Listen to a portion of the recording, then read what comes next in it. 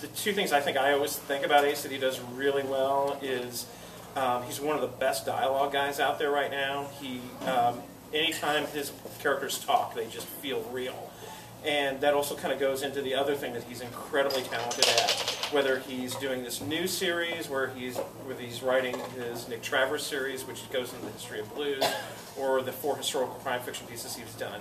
There is nobody that I can think of in this genre right now that just knows how to put you in what, whatever world he creates. And the new world he's created in The Ranger is really fun. It's realistic in many ways, but it's also kind of like for those of us that know Ace, if you take everything Ace loves, every pop culture thing, every kind of music, every kind of movie, and put it in a blender, you basically have that with The Ranger, which is just a fantastic kick-ass novel. It's um, if you haven't read Boom, who lost an arm, and his kind of his buddy, you know, has his back in the books, is Boom talks about how much he misses being in Iraq because he's in Iraq. Yeah, he was exactly. in Iraq, Yeah, and how like there's nothing, you know, how he hasn't quite adjusted to what's going on.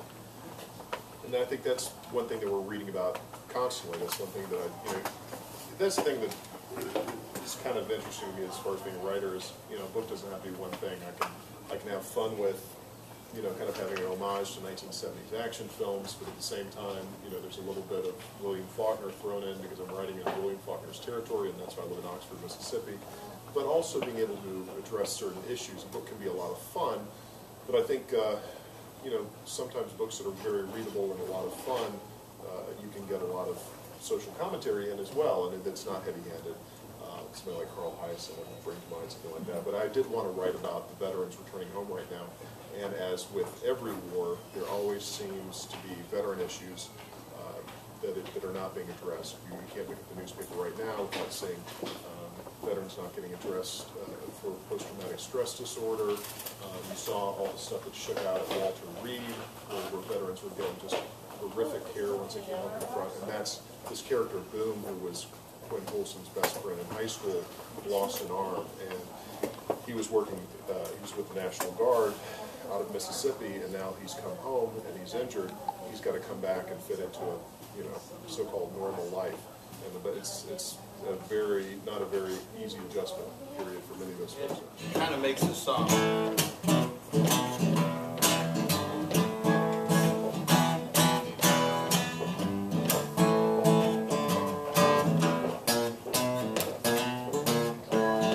Nobody knows the trouble I've seen. Life is hard, streets are mean. Don't be so fierce as a human being. Nobody knows the trouble I've seen. Nobody knows the shape I'm in. Crazy as an elephant in the back of a chin. Half inch deep in a mile wide. So cold out there, devil thumbs a ride.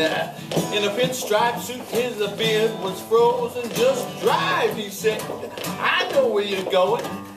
Life is a gamble, can't seem to win. Nobody knows the shape I'm in. They come looking, I can't be found. I'm on the wind, I'm underground. They come looking, I can't be found. Feet underground.